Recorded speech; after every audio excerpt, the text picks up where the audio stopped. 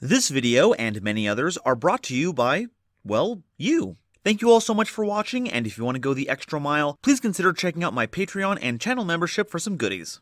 Hello everyone, Golden Nova here, and so, as it was promised, so it shall be delivered. Upon the 10,000th subscription, the pact was sealed, and so I ventured forth, cataloging all there was to know about one of the greatest Xyz archetypes ever known. Its members have seen play in a variety of decks spanning years of competitive play, and now we're going to begin the process of crafting the definitive compendium of their entire lineage. At least until we get another wave of support. Knowing me, it's bound to happen. But first, let's get acquainted with the character they're tied to. Yuma Tsukumo is the Yu-Gi-Oh protagonist that is in possession of the most chaotic gremlin energy out of all of them, and that's including the one that's possessed by an actual chaotic gremlin. But it's all balanced out by another companion spirit, Astral. They're an ethereal entity from Astral World who joins up with Yuma on a quest to restore their lost memories by collecting the number monsters. And while we may one day bring our focus to bear on the wide swath of number cards, for now we're going to be focusing, mostly, on just one. Number 39, Utopia. Well, in a bit. I'd be remiss if I didn't take this opportunity to talk about the cards that were instrumental in setting up Utopia in the anime. And while they're pretty splashable, it would feel pretty wrong to leave them out, because Utopia isn't the only monster that Yuma is known for, he also wielded the Gagagas as well as the whole Onomat pantheon. And what the heck is an Onomat? Well, it's short for onomatopoeia, an umbrella term for words meant to emulate sounds, which you see in a lot of comics. You know, your bangs, your zooms, your kachows, and they're used to similar effect in manga, if you've seen basically any JoJo panel, you know what I'm talking about. And all the major themes used by Yuma are their own distinct archetype, but are tied together by Onomat cards that reference all of them. Gagaga, Go-Go-Go, Dododo, and Zubaba are all Japanese onomatopoeia, which makes sense, I know this is something a young me would really love, so it's only natural that Yuma would too. And so, that's where we're gonna start. Get ready for some vocal warm-ups, practice your tongue twisters, and grab your favorite Xyz monster, because it's time to sound off with Onomats.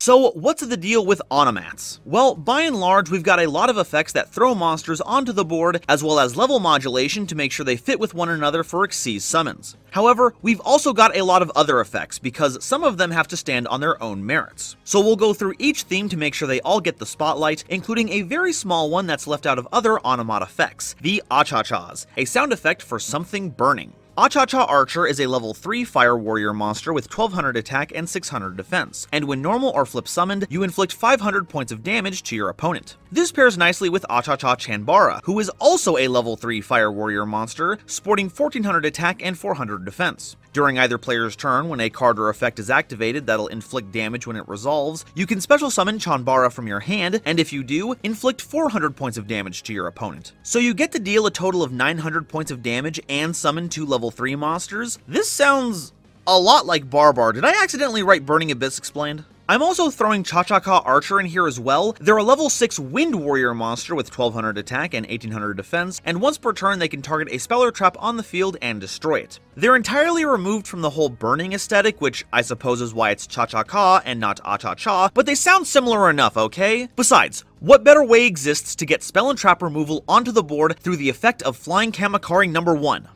Yeah, that's what I thought.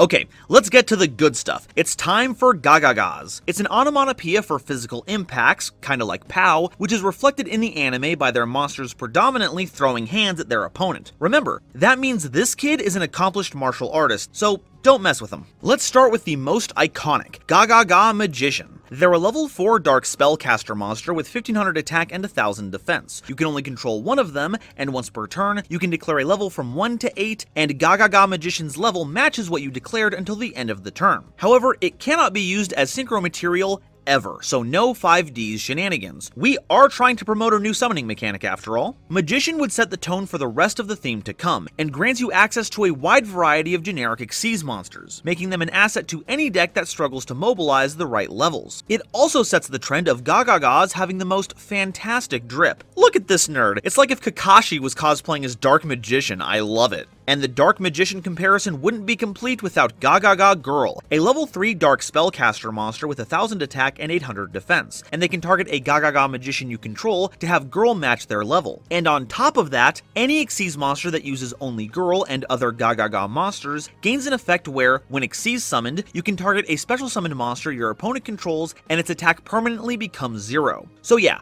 on top of anything else the Xyz monster you make does, it also blanks an opponent's monster's attack, an especially devastating move against Link monsters. It's a shame it doesn't also special summon itself if you control Gagaga Magician, but we've got other cards that can handle that for us. What's really on my mind right now is how much cell phone envy I have. Really wishing I could still put cool little charms on my phone. Now, if you are looking for a monster that won't take up your normal summon, Gagaga Clerk fills that role. They're a level 2 Earth Warrior monster with 400 attack and 800 defense, and if you control a Gagaga monster other than Clerk, you can special summon them from your hand. And if you want one that also modulates its level, you've got Gagaga Child. They're a level 2 Dark Spellcaster monster with 800 attack and 1200 defense, and if you control a Gagaga monster besides Child, you can special summon them from your hand. And when you do, you can target a Gagaga you control with a different level than Child and have Child match it, though you cannot conduct your battle phase the turn you activate that effect. It does suck that you have to lose out on your battle phase, especially if what you are looking to Xyz summon is battle focused, so it's kind of a desperation play. Clerk can be used if you have access to other effects that will modulate their level, while Child is here if you need to be a bit more self-sufficient. Now, I don't know how a kid like this made it into My Gaga Academia,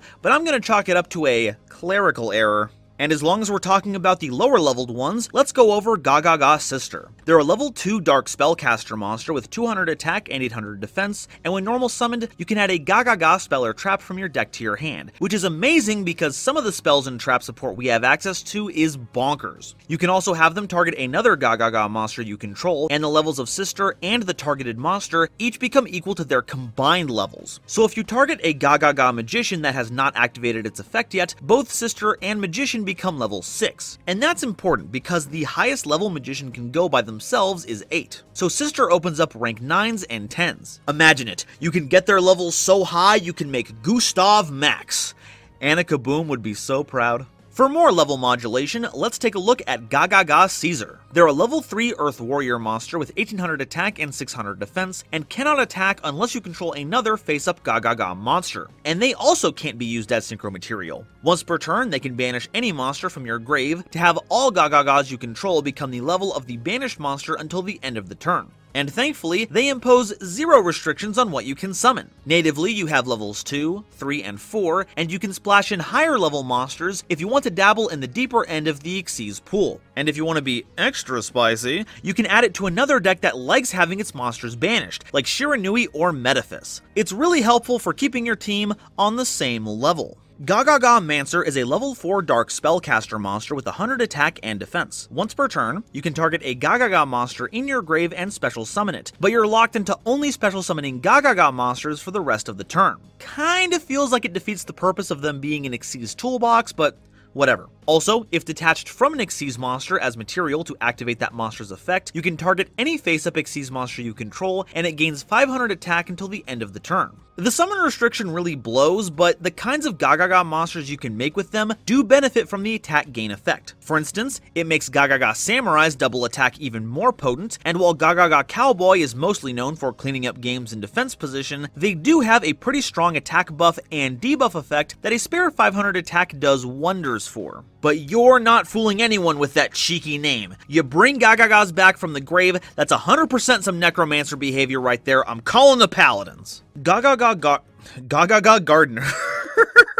Gagaga Gardna is a level 4 Earth Warrior monster with 1500 attack and 2000 defense. When an opponent's monster declares a direct attack, you can special summon Gardna from your hand, and when targeted for an attack, you can discard a card to keep Gardna from being destroyed by that battle. At first, this seems like a really out of left field type of effect considering what we've talked about, but it does help put a body on board that you can pair with another Gagaga when it rolls back around to your turn, and does a pretty impressive job of keeping you safe in the meantime. Though whenever the eventual Gardna archetype shows up, I'm not sure they're going to be much help.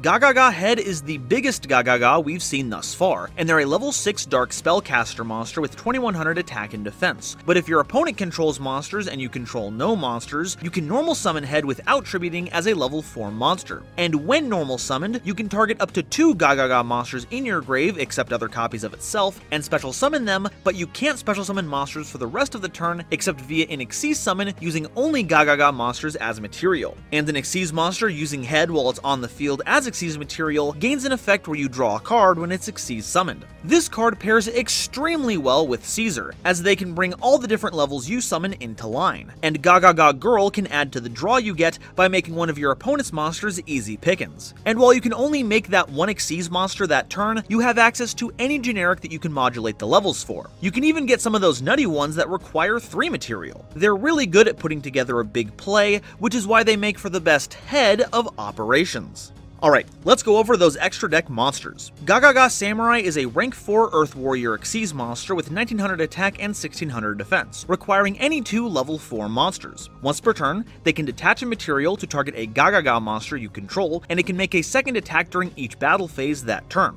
Also, when another monster you control is targeted for an attack while Samurai is in attack position, you can change Samurai to defense position, and if you do, change the attack target to Samurai and proceed to damage calculation. Not a bad level 4 if I'm being honest. They can potentially put out 3800 points of damage, 4800 if you detach Mancer from them, then can draw away attacks from other monsters while preventing battle damage. It makes sense why this doesn't see a lot of play. These kinds of effects aren't exactly going to be tearing up the battlefield, but it's great on both the offense and defense meaning this dual wielder serves dual purposes in your duels. Gagaga Cowboy is a rank 4 Earth Warrior Xyz monster with 1500 attack and 2400 defense, requiring any two level 4 monsters as material. Once per turn, you can detach a material to apply an effect based on what position Cowboy is in. Very Morphtronic of you. If they're in attack position, you can detach a material to have Cowboy gain 1000 attack and make the monster they're battling lose 500 attack for a total net change of 1500, and if they're in defense position, you can detach a material to win the game. Okay, technically it burns your opponent for 800, but the way it's used normally might as well win you the game. While the attack position effect can be helpful in clearing out some big monsters, the lack of restrictions on it meant you could leave that big offensive push to your other monsters, and any amount of remaining life points at or below 800 meant victory was a single overlay away. In fact, it was so prolific that some underhanded duelists who weren't even running Cowboy in their lists just had to say they were going to make Cowboy to get their opponent to concede. This old Cowpoke hasn't seen much play in a while, mostly due to the fact that extra decks are more cramped than ever, but has nonetheless left its mark on the game for some time to come, and any beatdown deck that can lean into the rank 4 toolbox always has this trusty iron at their side, which does seem thematically inappropriate. You'd think considering the Wild West theme, it'd bring the game to a draw Gaga Ga Ga Magician, the extra Ga is very important, is a rank 4 Dark Spellcaster Xyz monster with 2000 attack and defense. They can detach a material to target an Xyz monster in your grave and special summon it, but its effects are negated. Not an issue though, as it's mainly used to facilitate its second effect. When it's an Xyz material on a utopic future monster, that Xyz monster gains an effect where, during the main phase, you can detach two material to target an Xyz monster you control, and until the end of the turn, negate its effects while changing its attack to 4000. Now, one might ask how you use an Xyz monster as material without a rank up magic spell, since they have no levels. It flies in the face of every rule ever printed on the subject. But utopic future monsters specifically require Xyz monsters of the same rank, except number monsters. So it's rather helpful that Gaga Gaga Magician is an Xyz monster that can summon another rank 4 to help out with your future plays. Alright, now it's time for our spells and traps. Gagaga Academy Emergency Network is a normal spell that you can only activate if your opponent controls monsters and you control none. You special summon a Gagaga from your deck, but you can't special summon any other monsters that turn except through Xyz summoning. That's a Gosh, this card goes off the rails really quickly. Without the ability to special summon your main deck monsters, you're down to your only normal summon to get the material ready for that Xyz summon. Like, if it locked you into only summoning Xyz monsters from the extra deck, this wouldn't be half bad. But For now, it seems like the only thing this card is good for is setting up the My Hero Academia reference earlier in the video. Gagaga Bolt is a normal spell you can activate if you control a Gagaga monster, and it targets a card on the field and destroys it. Ah, uh, good old one-for-one -one removal. It really helped the deck be the powerhouse it is in Duel Links. Not only did you have access to a strong double attacker and temporary monster removal, you have the ability to grab a flexible problem solver, either through drawing or searching it with Gagaga Sister, a move that can really energize your game plan. Gagaga Draw is a normal spell that has you banishing 3 Gagaga monsters from your grave to draw 2 cards. Great addition if you're playing pure Gagagas, but not going to be much help if you're splashing them into another deck. I mean, maybe if we get to a point where Gagaga extra deck monsters become more extenders into other Gagagas for play sequences, I might change my tune. And I know Pot of Greed is an outstanding card, but until we see some more advancement from the theme, we're gonna have to draw a line here.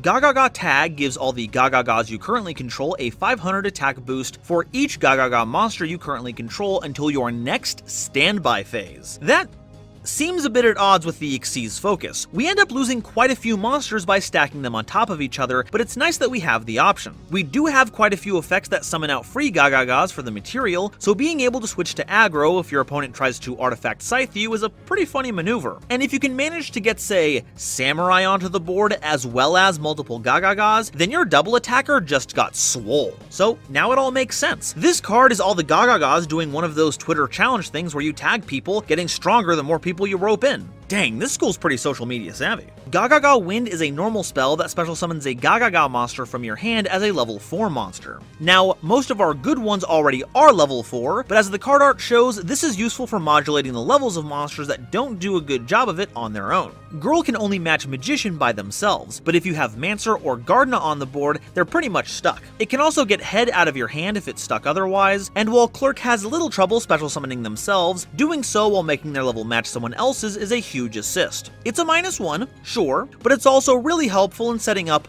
for a big play. Gagaga Back is a quick play spell that you can activate the turn a Gagaga monster you control was destroyed by battle and sent to the grave. On resolution, you special summon as many monsters as possible that were destroyed by battle this turn in face-up defense position, then take 600 points of damage for each monster special summoned this way. It's a very, very specific soul charge, but does cost you a lot less, though having to be destroyed by battle is its own kind of additional cost. Most attacks are spent attacking directly, and while you can thankfully force this by using Gagaga Samurai's attack attack redirection effect, your opponent is more likely to use effect removal on your monsters so you don't inadvertently make a comeback. Gagaga Revenge is an equip card that targets a Gagaga monster in your grave, special summons it, then gets equipped to that monster. If Revenge leaves the field, so does the equipped monster. And if Revenge is sent to the grave because the equipped monster was used as Xyz material, all Xyz monsters you currently control gain 300 attack. This is just a really outstanding card, but I guess when you reprint Premature Burial, that goes without saying. It doesn't negate any of the monster's effects either, so your Magician can modulate, Girl can match Magician, and Caesar can set up your entire field, all while giving a little extra boost to the monster you make on top of it. And it does not fall short in the style department either, as it has the monster you summon erupting from a coffin. That's not a Yu-Gi-Oh effect, that's a pro wrestling intro.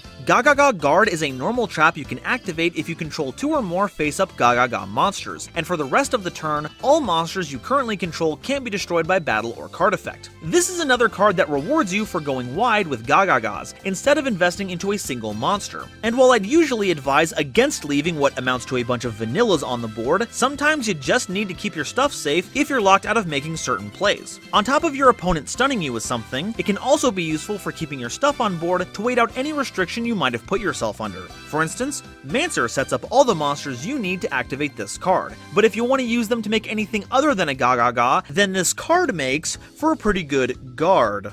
Gagaga Rush is a normal trap you can activate when any number of face-up Gagaga monsters you control are targeted by an opponent's monster effect. You negate the effect, destroy the monster that targeted your Gagaga, then burn your opponent for damage equal to the destroyed monster's attack or defense, whichever is higher. Holy smokes! I mean, it doesn't really hold a candle to Gravedigger's Trap Hole, but as far as negation that punishes your opponent goes, this is a close second. It's searchable with Sister and keeps your combo pieces from being interacted with. Well, at least from targeted monster effects. It's not going to do much against activation negation. It also kind of blows that, aside from Samurai, there really isn't a Gagaga boss monster you can back up with this card. Most of the generic Xyz you want to flex into with this won't get any protection from it, and unfortunately, if Gaga Gaga Magician is any indication, they really aren't in a rush to print one anytime soon. Gagaga Shield is a normal trap that targets a spellcaster you control, becomes equipped to them, and twice per turn, that monster cannot be destroyed by battle or card effects. This is a nifty little card that grants some durability to your monsters while providing some niche applications. For instance, you can equip this to Maiden with Eyes of Blue, triggering their effect to summon a Blue Eyes, and now it's that much harder for your opponent to get rid of them. But I have some umbrage with this, because while it's a Gagaga card, it doesn't even work with half the Gagagas you have. We've got almost as many warriors as spellcasters. I guess it just goes to show where the school likes to put all of its funding. Next, we have our Go-Go-Go's. They're a series of mostly level 4 Earth attribute rock monsters, we'll get to the exceptions in a bit, and their onomatopoeia is associated with a menacing kind of rumble. If you've ever played a game and things start to shake or get really tense before the bad thing happens, it's kinda like that. Go-Go-Go Golem has 1800 attack and 1500 defense, and once per turn while in defense position, they cannot be destroyed by battle. So it's got a bit of bulk if it's forced to play defensively, and otherwise has some really solid stats. But without any kind of effect to help throw them out onto the field, they feel more like they're standing around than Go-Go-Go going. Go-Go-Go Gorum has 2300 attack and 0 defense, and if summoned, its battle position is changed. Also, if they're destroyed on the field and sent to the grave, you have to send a Go-Go-Go monster from your deck to the grave. That's a large boy, so it makes sense they would force it to defense position if you normal summon them. And if they're destroyed, then at least you can set up some of your other Go-Go-Go's that use the grave. Also, I don't know what it is, but Gorum just looks like a meme image. Like, here, take a look. Go-Go-Go Giant has 2000 attack and 0 defense, and when normal summoned, you can target a Go-Go-Go monster in your grave and special summon it in defense position, then change Giant to defense position. Also, if Giant attacks, it goes full Goblin attack force and is changed to defense position at the end of the battle phase. This is a pretty great way to summon back Gorum, as it'll just change to attack position after it's been summoned. So you can either go on the offensive with a 2300 attack monster, or overlay for a rank 4. I hear Gallant Granite is pretty good for rock themes. It might have to take take things easy after it attacks, but it's like they always say, the best defense is a good giant throwing 2000 attack at your opponent before it gets tired.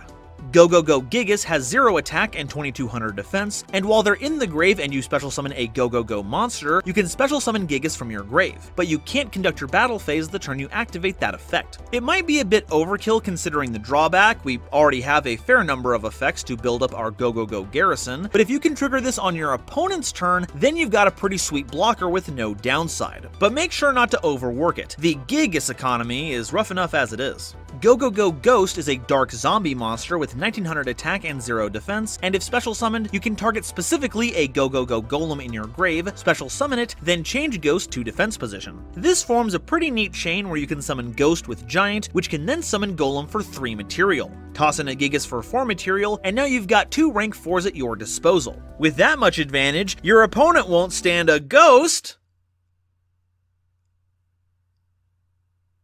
Go Go Go Golem Golden Form is my favorite card in the lineup, and I'll leave that to you to figure out why. They sport a question mark attack and 1500 defense, they can't be normal summoned or set, and must be special summoned from your hand by tributing any Go Go Go monster. Their attack becomes double the attack of the monster you tributed, any battle damage they inflict to your opponent is halved, which is fair, and once per turn during either player's turn, if any monster effect is activated on your opponent's field, Golden Form here loses exactly 1500 attack, and if it does, the effect is negated. So it's like a very watered down Light and Darkness Dragon. You won't be stopping any hand traps or grave effects, but the upside is that this card can get huge. Even on the smaller end, Tributing Golem gets you to 3600 and Gorum gets you to a whopping 46. It can also help with your damage output by tributing something like a giant after its summon effect has been used. Sure, the damage it deals is halved, but it's better than having a monster in defense position that can't help with that. Now, instead of chilling for the turn, Golden Form takes their place as an obelisk that can insulate your board against negation bodies like Borrelsword or Dragoon. Just the kind of performance I'd expect from another member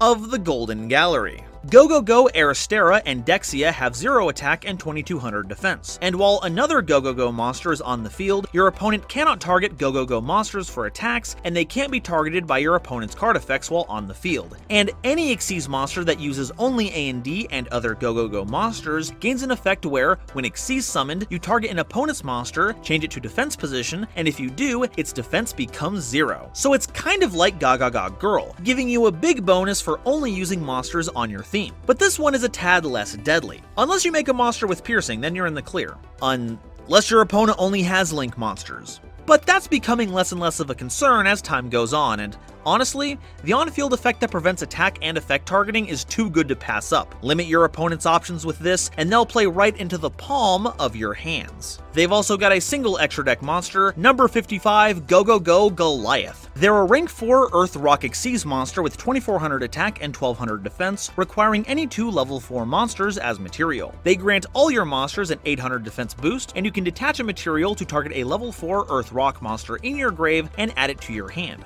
excellent for recouping material for future plays, but what I like best is the ability to get back Golden Form, at which point you contribute Goliath to make a 4800 attack monster. The 800 defense boost would be nice, but we've either got big walls already like Gigas, or absolute novice defenders like Ghost and Giant, so 800 isn't going to make much of a difference. So you might as well take the opportunity to go from David to Goliath in no time flat. Our last Go Go Go card is Go Go Go Talisman, a continuous spell that keeps you from taking any effect damage while you control two or more Go Go Go monsters. Also, once per turn, when an attack is declared involving a Go Go Go monster you control, you can activate Talisman to keep your monster from being destroyed by battle. And that's actually really clutch considering all the zero defense monsters we're going to be holding onto. Ideally, you'd have turned those monsters into a more impactful Xyz one by that time, but sometimes you've got a golden form that's used its negation effect one too many times and just needs to survive one more battle phase before they can be turned into a new monster. And hey, any card that can keep your rocks from getting smashed by a neutron blast attack is undisputably a really lucky charm. Our next stop is with the Dododos, a group of mostly Earth Warrior monsters, and their onomatopoeia is associated with the sound of heavy footfalls in quick succession, which is very well reflected in their monsters. They're hefty,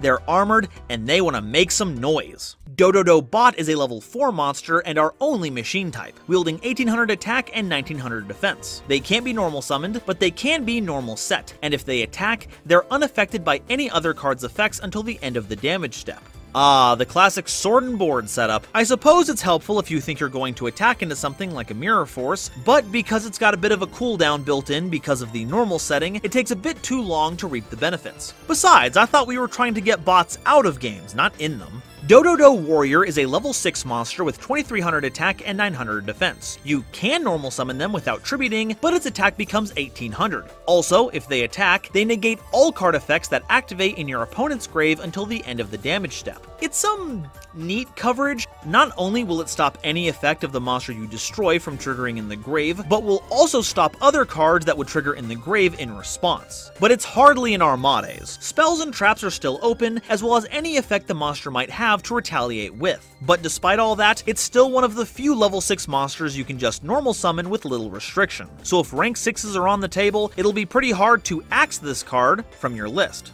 Dododo Buster is a level 6 monster with 1900 attack and 800 defense, and if only your opponent controls monsters, you can special summon them from your hand, and if you do, they become level 4. But when they're tribute summoned, you can target a Dododo monster in your grave and special summon it in defense position. So you can summon it for free as a level 4 monster, or convert one of your current monsters into a level 6 via tribute summoning, which can then revive Warrior to make those rank 6s. But those are some very specific scenarios. If you don't have the right setup for them, they are kind of a bust. Dododo Driver is a level 4 monster with 1800 attack and 200 defense, and up to twice per turn, if Driver was special summoned that turn by the effect of a Dododo monster, you can target a Dododo monster you control and either increase or decrease their level by 1.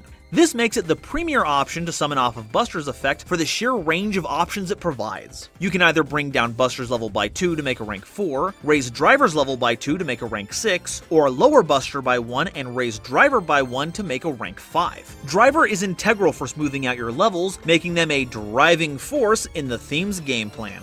Dododo Witch is a level 4 monster with 1200 attack and 1600 defense, and when normal or special summoned, you can special summon a Dododo monster from your hand in attack position or face down defense position, except another copy of itself. This is another great card to pair with Driver, as special summoning them with this effect means you can go into a rank 4, increase both their levels by 1 to go into a rank 5, or lower both their levels by 1 to make a rank 3. It can also special summon Dododo Bot in attack mode so you don't have to wait to attack with it, or get Warrior out so you can benefit from all the attack power. They have a lot of applications, so they'll be very helpful whichever way you use them. Dododo Swordsman is a level 8 monster with 0 attack and 3000 defense, and while Swordsman is on the field after having been flip summoned, it gains 3500 attack and when flipped face up by any means, you can target up to two face up monsters on the field and destroy them. This is why it's so important for Witch to be able to summon in face down defense position, because they can set up this ridiculous ticking time bomb. If your opponent has effect removal, then it's not much different from any other face down monster. But failing those options, your opponent either has to attack into the 3000 defense wall to only have to deal with the monster destruction, or will have to wait for you to flip up Swordmaster, get the pops, and become a humongous Chungus. But I Guess it was too much to make it a flip monster, huh? You know, why did Konami even bother printing monsters that have effects when they flip if they aren't going to make them flip monsters? Our last Dododo card is Dododo Draw. It's a normal spell that has you sending a Dododo monster from your hand or face up on the field to the grave to draw two cards. It's a destiny draw that's thankfully very helpful for setting up a Driver. Throw it into the grave to search for more extenders and enablers, then get Buster Tribute summoned and you're off to the races. Like its counterpart Gagaga Draw, it's unfortunately not very good, as the number of printed Dododos is very small, to say nothing of the playable ones, but you need to find happiness in the small things sometimes. For instance, if these are all regular sized cards, then the Dododos are little gnome people. Ain't that precious? Next we have the Zubabas, a group of Earth Warrior monsters, and my research has led me to believe that this one is actually a combination of two onomatopoeias. All the previous themes have the same three characters in repetition, but from what I can tell, Zubaba is the combination of Zuzaza, a large swoosh sound like a hurricane, and Bababa, which is swift machinery at work like helicopter blades. So I feel like the combo is meant to evoke someone swinging weapons around very fast. First, we have Zubaba Knight, a level 3 monster with 1600 attack and 900 defense. At the start of the damage step, if they attack a face-up defense position monster, you destroy it. Neat. I suppose this would have been pretty sweet with Go-Go-Go, Aristera, and Dexia's effect if it didn't already put the monster's defense stat to zero, but that just means it combos well with any other position change effect. You know, one of the most relevant types of effects across all levels of play. Okay, we are kind of scratching the bottom of the barrel here, but the next one's probably where things pick up. Zubaba Buster is a level 3 monster with 1800 attack and 600 defense, and if they inflict battle damage to your opponent at the end of the damage step, you have to destroy the face-up monster on the field with the lowest attack, your choice of Tide, and if it does, Buster loses 800 attack. So it's a monster with fissure encoded onto it, but it doesn't limit the destruction to your opponent, meaning you can end up blowing up your own card, which gets more likely the more you do it since it loses attack whenever you trigger the effect. Okay, this is getting a bit out of hand. There's gotta be a good Zubaba out there somewhere. Zubaba General is a rank 4- Rank 4?! The other two are level 3s with no level modulation! What's going on here?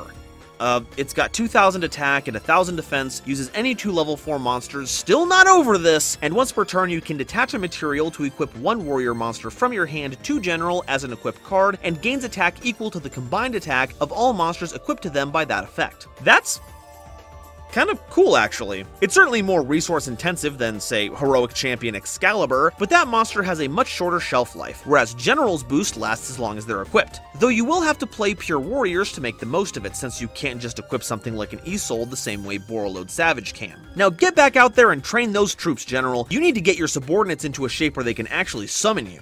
Thankfully, all is not lost, as we have a few cards that act as bridges between the themes. And the first one I want to talk about is the first legitimately playable Zubaba main deck monster, Zubaba Bancho Gagaga Coat. They're a level 4 Earth Warrior monster with 1800 attack and 100 defense, and if you control a Zubaba or Gagaga monster, aside from another copy of itself, you can special summon them from your hand. They can target a Go-Go-Go or Dododo monster in your grave and special summon it, but you are locked out of special summoning any monsters from the extra deck for the rest of the turn, except Xyz monsters. Now, the first part of the name might seem like a bunch of gibberish, but again, if you've seen some JoJo, the visual design here might look familiar. That's because Bancho is a term that describes the leader of a gang of delinquents in a particularly Japanese style. The open jacket and distinctive hat are both big indicators, so if you've seen characters like Jotaro, Mondo Owada, either of the Bancho Digimon, or countless others, you can see how the weird Zubaba Bancho fusion name kinda works, especially along with the vague school theming of the Gagagas. As an actual monster,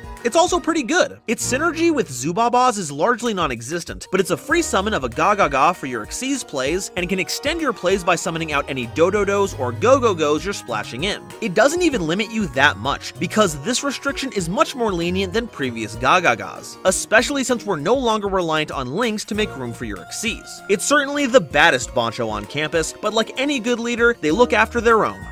Unless you mess with the coat, then all bets are off. Dododo Dwarf Go Go Go Glove is a level 4 Earth Rock monster with 0 attack and 1800 defense. During your main phase, they can special summon a Zubaba or Gagaga monster from your hand, and if you control a Go Go Go or Dododo monster, except another copy of itself, you can special summon this card from your grave, but it's banished when it leaves the field, which should hopefully never happen because once you tuck them under an Xyz monster, they'll go right back to the grave so you can use their effect all over again. Dododo Dwarf Go Go Go Glove is another excellent extender that helps you bridge the gaps between the different themes, and was so good in fact that it actually saw play in Adamancipator of all things as a way to add more rock monster extenders. How cool is that? It also helps explain why all the Dododos are so tiny. They're dwarves! I can't wait to bring the rich mythical history of the Dododos into my next D&D game. We've also got a normal trap, Guard Go, which triggers if any number of Gagaga, Go-Go-Go, or Dododo monsters you control are destroyed by battle or card effect and sent to the grave. You target one of those monsters, special summon it, then you can special summon up to two Gagaga, Go-Go-Go, or Dododo monsters from your hand in defense position. So you've got a way to retaliate against your opponent by reviving a destroyed monster and summoning more from your hand, but there aren't many that can really take advantage of this. I guess some of the Go-Go-Gos can, Golem has that once per turn battle destruction immunity in defense position, and both Gigas and the Handy Hands have solid defense stats. But aside from that, you just gotta hope they can survive a battle phase, or that it triggered on your turn, for some reason. And like, where even is the guard part of all this? Like, I suppose throwing out monsters keeps your opponent away from your life points, but Gagaga Guard does more to protect things than this. Konami, if you're going to print cards, I demand that they have the highest standard of ludonarrative resonance between the names and effects, especially with the theme made up of silly onomatopoeias. It's imperative to my immersion! Alright, now it's time for the crown jewel, the Onomat cards, the ones that tie everything together. And I've gotta start with Utopic Onomatopoeia, which is a big reason why I had to bring the Onomat themes into the Utopia video. They're a light warrior monster with 1500 attack and defense, are always treated as a Zubaba, Gagaga, Go-Go-Go, and Dododo card, which makes it the second ever playable main deck Zubaba card. During your main phase, you can special summon up to one each of a Zubaba, Gagaga, Go-Go-Go, and or Dododo monster from your hand in defense position, but you're locked out of your extra deck except for Xyz monsters for the rest of the turn. Once again, another brilliant card that helps connect the themes, throwing a bunch of them onto the field at once for some huge blowout plays. And you can even run it in the pure versions of any of those themes, as even summoning just one out of your hand can be enough to get the ball rolling. It's a big reason to play this in paper and in Duel Links, even if your deck name is going to end up sounding like Zoo Baba Ga Ga Ga Ga Ga Dodo Dodo Dodo said the Go Go said some in the Go Go. Onomatopaira is a normal spell that has you sending a card in your hand to the grave to add up to two Zubaba, Gagaga, Go-Go-Go, or Dododo monsters from your deck to your hand, but not more than one of each particular archetype. Back in the day, you had to try really hard to string together the synergies of the themes. Like, if you squinted hard enough, Gagaga Magician was a great pair with any of them due to their modular level, but with the advent of Zubaba Bancho, Gagaga Coat, and Dododo Dwarf Go-Go-Go Gloves, you can add both of them with this card, which makes connecting the themes that much easier and overall more powerful, and really helps when things go on a onomatopoeia shaped. Onomatopickup is a continuous spell that, when activated, adds an Onomat card from your deck to your hand, except another copy of itself, which effectively makes it more copies of Onomatopaira. Once per turn, you can target a Zubaba, Gagaga, Go-Go-Go, or Dododo monster you control, and all monsters you currently control become that monster's level until the end of the turn, even if pickup leaves the field. Alright, now that's some powerful Xyz nonsense right there. Not only do you gain access to the power that is Onomatopaira, you can also grab Utopic Onomatopoeia if you're already set up, and if you land Gagaga Magician onto the board, then you've just modulated the level of your entire field, because after you use Magician's effect, you can use pickup to make everyone copy it, no fuss, no muss. And that's just what strategies like Onomat need, a little pick-me-up.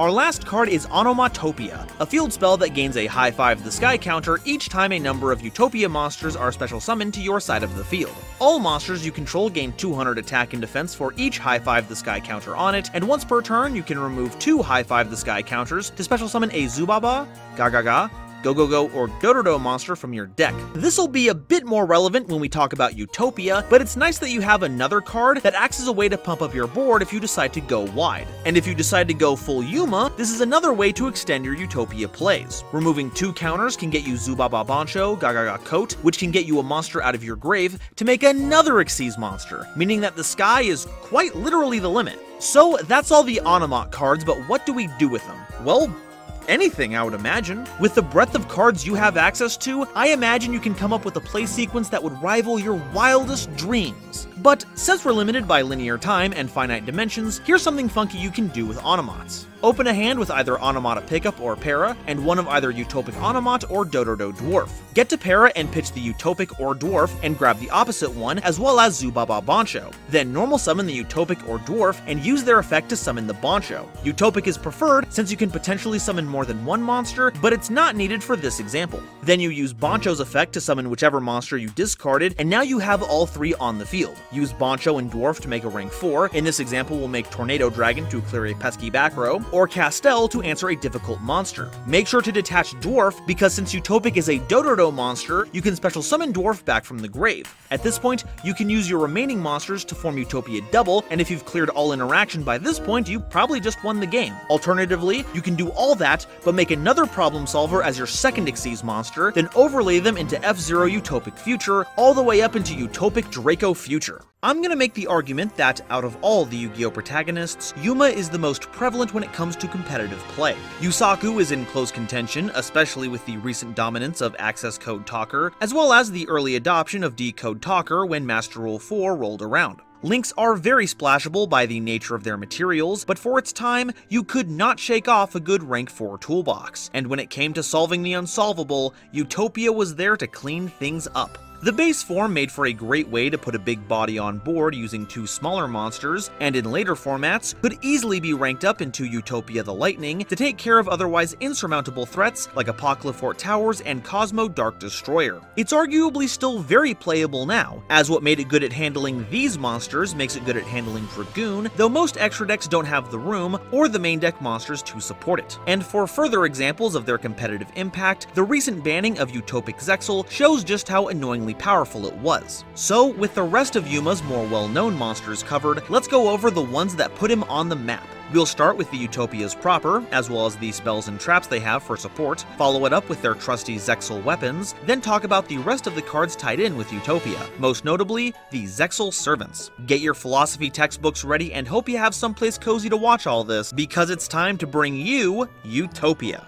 The majority of these monsters are going to be rank 4 Light Warrior Xyz monsters, but there are a number of exceptions, so keep an ear out because I'll be bringing them up as they become relevant. And it's hard to start out without the original themselves, number 39, Utopia. They have 2500 attack and 2000 defense, and require any two level 4 monsters as material. When a monster declares an attack, you can detach a material from Utopia to negate the attack, and if it's ever targeted for an attack while it has no material, it's destroyed. A pretty unsettling drawback, but if you had to use the effect enough to prevent it from being destroyed in battle by a bigger monster, I guess you would have lost it eventually. But it's not restricted to only negating attacks it's involved in. If you have a weaker monster that's about to get run over, Utopia can fly in at the last second to save the day. And they're not just an accomplished warrior of hope, they're also a decorated baseball player. That's right, I wasn't gonna miss an opportunity to talk about this. Uniform number 39, Junior Baseball King Home, a parody of Utopia's OCG name, King of Wishes, Hope. Now, I'm not a Rush Duel channel yet, so I'm not going to get into the nitty gritty of what it does, but I could not pass up a chance to cover a good reason why I should pay attention to Yu-Gi-Oh! 7s. In fact, they're not the only one. Yuka Goha, one of the six Goha presidential siblings who act as the main antagonists of Sevens, wields a whole gallery of baseball themed Yuma cards. There's uniform number 99, Junior Baseball King Dragon Home Groundra, a playoff of Utopic Dragon, but we've also got Achacha Catcher, Gagaga Outfielder, Zubaba Batter, Dododo Second, and Go Go Go Umpire. I love that Sevens can take beloved cards like this and remix them in fun ways, but I'm not looking forward to the new product rush they're going to jumpstart. Yu-Gi-Oh! and baseball cards are already an endangered species by themselves, but combine them? The scalpers will have bought out every Rush Duel import before this video's even over.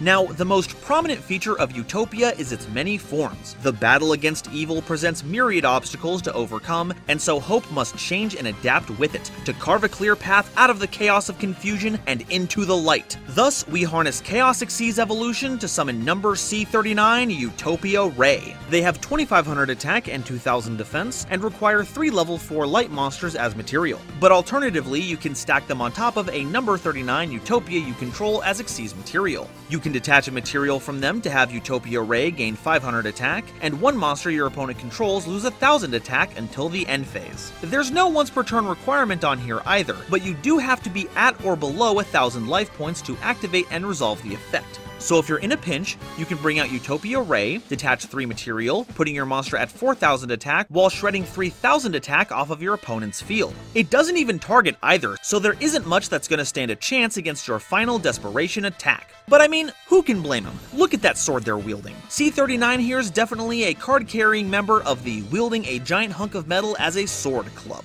If we use Rank Up Magic Limited Variance Force, we get C39 Utopia Ray V. They're a rank 5 monster with 2600 attack and 2000 defense, and require 3 level 5 monsters as material. When this card in its owner's possession is destroyed by an opponent's card, you can target an Xyz monster in your grave and return it to the extra deck. And if they have a Utopia monster as a material, once per turn, you can detach a material, then target a monster your opponent controls, destroy it, and burn your opponent for its attack on the field. So it's a better Volcasaurus because it doesn't hinder your attacks in any way. You get rid of a big monster, take a huge chunk out of your opponent's life points, then swing in for 2600 more. A very thematic decision, considering that this Utopia is wielding two swords for two different waves of damage. That's some big Darth Maul energy right there. If we use Rank Up Magic Numeron Force, we get number C39 Utopia Ray Victory. They're a rank 5 monster with 2800 attack and 2500 defense, and require 3 level 5 monsters as material. If they attack, your opponent can't activate any spell or trap cards until the end of the damage step. And if they have a Utopia monster as material, when Victory declares an attack on a face-up monster your opponent controls, you can detach a material to negate that monster's effects and gain attack equal to the opponent's monster's attack until the end of the turn. So it's basically an Ancient Gear monster, and when summoned the right way, it's also got an honest and non-targeting effect veiler stapled onto it. It's another incredibly powerful finisher, and continues the sword evolution journey that we saw in Utopia proper. We went from cool sword to Big Sword to Double Ended Sword, and currently we're on the Four Swords part of this adventure. If we use rank down magic Numeron Fall, we get number 39 Utopia Roots. They're a rank 1 monster with 500 attack and 100 defense, requiring any two level 1 monsters as material. And when any player's monster declares an attack, you can detach a material from Roots to negate the attack, and if you negated the attack of an Xyz monster, Roots permanently gains 500 attack times the rank of the monster whose attack you negated. This can be a funny tech choice against decks that make big Xyz monsters, as a rank 8 will easily get roots up to 4500, but it's much more consistent as a way to supplement your own deck that runs big Xyz monsters. Sure, it's a little extra effort, but you may end up dealing a lot more damage if you have one monster bow out and let Roots take the stage, especially if it's not the first time you've done this. 4500 attack is pretty scary, but what about 8500? And if no Xyz are available to make the most of them, then it's just regular old Utopia minus the protein And honestly, it's nice to see that among the Bara ranks of the Utopia monsters, we've got a bit of good twink representation. If we use Rank Up Magic Astral Force, we get number 39 Utopia Beyond. They're a rank 6 monster with 3000 attack and 2500 defense, requiring any two level 6 monsters as material. If Xyz summoned, the attack of all monsters your opponent controls becomes 0, permanently. And once per turn, during either player's turn, you can detach a material, then target a face-up Xyz monster you control and a Utopia monster in your grave. Then you banish the first target, summon the second one, then gain 1250 life points. That's a weirdly specific number, I'm not sure why they kept it that way. In the anime, you just gain life points equal to half the attack of the monster you summon, which matches original Utopia, but I feel like you could have just kept the formula the same. I don't know. The important takeaway is that this is an OTK enabler, reducing your opponent's attack power to donuts and giving you another monster to swing in with. And since base Utopia can turn into a myriad of different forms, you can just summon it with Beyond if you have the Spare monsters to spend on the effect, then turn it into whichever version wins you the game, meaning victory is never quite beyond your reach. We've also got two other Utopias that evolve from Shining Xyz evolution. It's like Chaos Xyz evolution, but more manga exclusive. Number S39, Utopia Prime, is a rank 4 monster with 2510 attack and 2000 defense, requiring any 3 level 4 light monsters as material. You can either use Tellarknights to summon this big bad blade battler, or you can just stack them on top of a number 39 Utopia you control, whichever's easier. If your opponent's life points are at least 3000 more than yours, you can detach 3 material from them and pay life points until you only have 10 left. Can you tell this is a manga card yet? And on resolution, you destroy as many special summoned monsters your opponent controls as possible, and if you do, they're banished, then burn your opponent for 300 for each monster banished this way. And I thought Utopia Ray was a desperation play. This is some downright scorched earth campaign stuff right here. A stiff breeze can blow you over after activating this effect, and since you pay the life points as cost, you better hope your opponent doesn't have negation ready to stop you. But if it resolves properly, you've likely cleared your opponent's entire board, done a bit of burn, and can now swing in with 2510 damage, which is so funny to me, but I feel like they should have gone even farther. The original manga version has 2501 attack, and to activate the effect, you have to pay down to 1 life point. Way to take Yami Marik's Thunder Yuma, very stylish.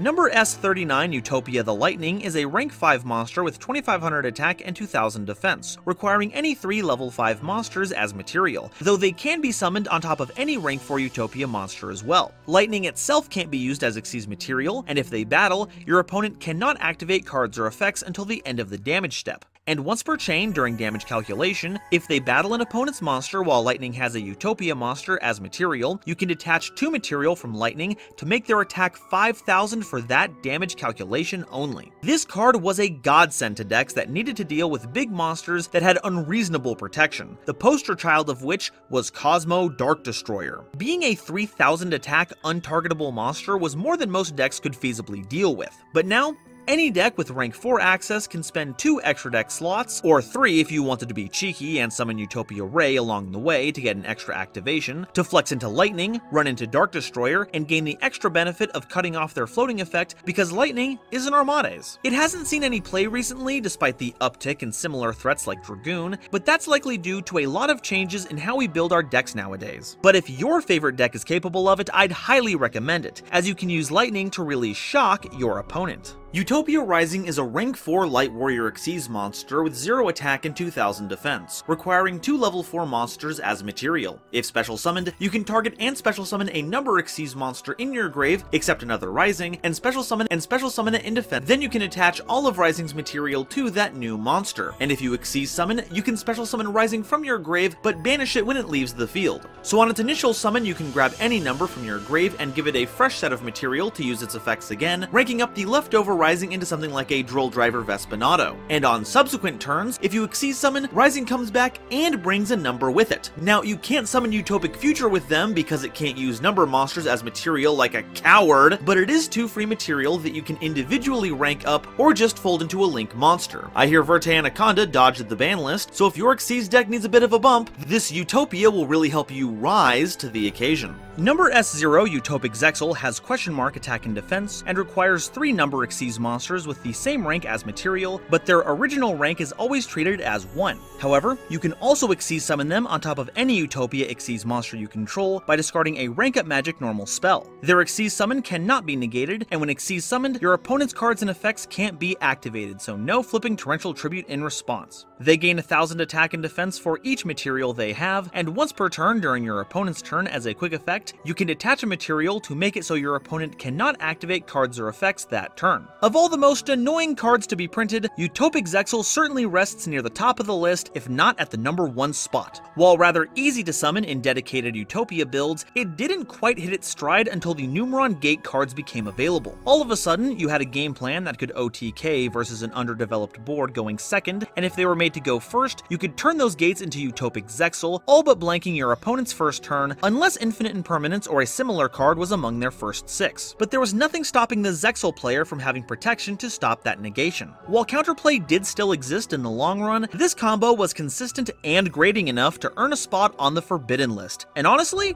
good riddance. Yuma's cards are meant to exude hype and excitement, but this just slows everything down to a painful crawl. This card is the physical embodiment of someone giving you a hearty good luck, have fun when starting a duel before revealing they brought Nurse Burn to locals. Absolutely disgusting. Speaking of utopias that need number monsters as material, let's take a look at number 93 Utopia Kaiser. They're a rank 12 monster with 2500 attack and 2000 defense, and requires two or more number Xyz monsters with the same rank that have material as material. Once per turn, they can special summon any number of rank 9 or lower number monsters with 3000 or less attack that have different ranks from each other right out of the extra deck, up to the number of differently named materials that Kaiser has, but their effects are negated, then you detach a material from Kaiser. And for the rest of the turn, unless the effect was negated, you can't special summon, and any battle damage your opponent takes is halved. Also, while you control another number Xyz monster, Kaiser can't be destroyed by battle or card effect. This card first saw the light of day as a YCS prize card and is one of the most ridiculous build arounds I've ever seen. Since you're negating the effect of what you've summoned and you can't summon anymore once you use the effect, you're looking to accumulate 16,000 attack or more, since all your battle damage is halved. This means you'll need to A. have a diverse enough extra deck to facilitate this, and B. get enough material under Kaiser to make the effect worthwhile. Utopia Double is capable of summoning this card off of any two level 4 monsters, but you'll only have 2 material, which means 2 summons max. And if you use the strongest monster of any given rank, you'll need all 5 to reach the minimum OTK threshold.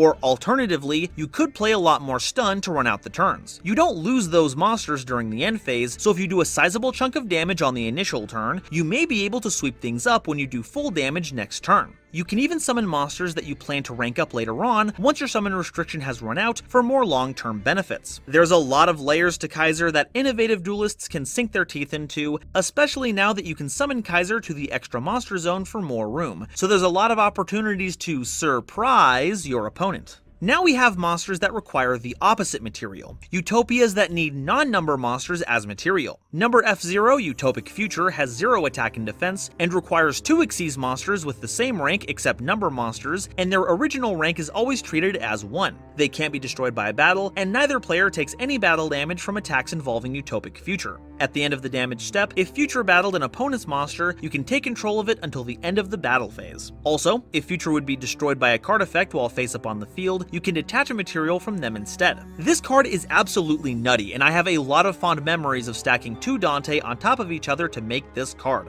You can turn your opponent's most powerful monster against them, and while you only have it for that battle phase, it can still be wildly destructive. It can help bolster your offensive push, while also making way for your other monsters to attack as well, and because of its many resistances, it's incredibly durable. And if your opponent doesn't give you any monsters to take, then make sure to summon Future using Gaga Gaga Magician to turn them into an obelisk for the turn. There aren't a lot of better ways to get those F-Zeros in chat. They've also got a special attack counterpart, Number F0 Utopic Future Slash. They have all the same stats and summoning requirements as Utopic Future, but you can also stack them on top of any Utopia or Number F0 Utopic Future you control. This version gains 500 attack for each number monster in the graves, cannot be destroyed by battle, and once per turn, they can detach a material to allow them a second attack during each battle phase that turn. Note that this lacks the On Monsters clause, so Future Slash can potentially swing in directly twice for huge huge damage, but you do need to be on an extensive number lineup to make this threatening. The upside is that you can just utilize original Utopic Future as long as you want, and once there's a critical number of, well, numbers in the grave, you can upgrade them to Slash to close things out with a big Falcon Punch. Or, instead of Slash, you can turn the original into Number F-Zero Utopic Draco Future. They have 3000 attack and 2000 defense, and requires 3 Xyz monsters with the same rank except number monsters, but their original rank is treated as 1, and is always treated as a Utopic Future card. You can also summon them by stacking them on top of the original Number F-Zero Utopic Future. This outstanding specimen can't be destroyed by battle or card effect, and once per turn when your opponent activates a monster effect, as a quick effect, you can detach a material from Draco to negate the activation, then if the effect came from a monster on the field, you gain permanent control over it. This is like a tiny Dragoon and I love it. It doesn't gain attack and it can't negate spells and traps, and sadly it can be targeted so it doesn't have the same kind of immovable object presence, but it can't lose out in battle, and has the capability to steal what you negate, adding to your forces and making it a rather stubborn boss for your opponent to get Drake over. But these aren't the only Utopic monsters, we've got number 99 Utopic Dragon. They're a rank 10 Dragon Xyz monster with 4000 attack and 2000 defense, requiring 3 level 10 monsters as material, but you can also stack them on top of a Utopia monster you control by discarding a rank up magic normal spell card. Once per turn, they can target a number monster in your grave and special summon it in defense position, but its effects are negated. And during either player's turn, when a monster effect is activated that targets Utopic Dragon, you can detach a material to negate the activation and destroy that card. This is a pretty wild way to get a lot of damage on board, and as long as they stay on the field, they can keep putting up the pressure. The revival effect does not require you to detach a material, so until they're disposed of, you get free numbers from your grave. And while the protection effect is limited to monsters, those do make up quite a bit of the threats in the game. Now, the best way to end the game with them is by comboing with Rank Up Magic Argent Chaos Force. You discard it to turn a Utopia into a Utopic Dragon, and because of their once per duel effect, Argent Chaos Force comes back to your hand after you summon the dragon. Then all you have to do is summon a Utopia from the grave with the dragon, hopefully set up by detaching one or more of them from a previous Utopia after some evolutions, then discard the Argent Chaos Force one more time to get another dragon, and at this point you've got 8,000 points of damage on board. It's a bit gimmicky, but when it goes off, it's a real home run. Ugh, no, wait, this is supposed to go into the Rush Duel section. A note to Future Nova, make sure to move this joke earlier in the video so it's actually funny. And they're not the only number 99, because we've also got Utopia Dragonar, a rank 12 Xyz monster with 3000 attack and defense, requiring 3 or more level 12 monsters as material. As a quick effect, you can detach 2 material to special summon any number monster from your extra deck whose number is between 1 and 100, and it is treated as a proper Xyz summon. When you do this, you cannot special summon monsters from the extra deck the turn you activate this effect, except Xyz monsters, and only Dragonar can attack directly. And note that this counts before you activate this effect as well. And when your opponent's monster declares an attack, you can change that monster's attack to zero forever. So you're definitely going to want to summon this with the new Hyper Rank Up Magic Hope Force spell, because getting together 3 level 12s is going to be a bit of an issue. You'll also want to figure out which number monster you want to build around with this card, because Dragonar honestly does little else. Thankfully, you have a great option in number 100 Numeron Dragon. The Hyper Rank Up Magic will give it just the material it needs to bolster its attack to 13,000 when it stands next to Dragonar, and while only Dragonar can attack directly, this does mean any attack position monster with 5,000 or less attack is fair for Numeron to end the game with, so no one can accuse them of dragging the game out. We've also got one that shows up in the Arc V manga of all places, number XX Utopic Dark Infinity. They're a rank 10 Dark Xyz monster with 4000 attack and defense, requiring 2 or more level 10 monsters as material. When any monster is destroyed by battle and sent to the grave, they can detach a material to target that monster and special summon it to your field in defense position. They can also target one other face-up special summoned monster you control, I wonder where that will come from, and gain life points equal to its original attack. So it's a giant Goyo Guardian with a hint of Cyber Angel Natasha. It's a lot easier to summon now thanks to the newly released Hyper Rank Up Magic Hope Force, and 4k stats is nothing to sneeze at, but it's otherwise surprisingly bland probably should have leaned more into the double X Saber theming. We've talked a lot about the evolutions of Utopia, but what about a card that acts as a kind of pre-evolution? That's where number 39 Utopia Double comes in. They're a rank 4 Xyz monster with 0 attack and 2500 defense, requiring any two level 4 monsters as material. As a quick effect, they can detach a material to add the spell card Double or Nothing from your deck to your hand, then Xyz summon a Utopia Xyz monster from your extra deck, except another copy of itself, by using Double as material, and if you do, that monster's attack is doubled, but it can't attack directly, and this does count as an Xyz summon. Our best targets will come out as 5000, but the best one is going to be Utopia proper because of Double or Nothing. It's a quick play spell that can only be activated when a monster's attack has been negated. You target that monster, grant it a second attack during that battle phase, and its attack is doubled during the damage step. This means you can swing in with a 5000 attack Utopia, use its effect to negate its own attack, activate double or nothing, then swing in again with 10,000 attack points. So if your opponent has a monster with 2000 or less attack, you just put lethal damage on board. It's certainly enough to make even the most seasoned duelist do a double take. But what if your opponent has discovered the power of Utopia and is looking to harness it for themselves? Then you can make them regret that decision by using number 98 Antitopian. They're a dark rank 4 Xyz monster with 2000 attack and 2500 defense, requiring any two level 4 monsters as material. When any player's monster declares an attack, you can detach a material from them to change that monster to defense position. So it's kinda like attack negation.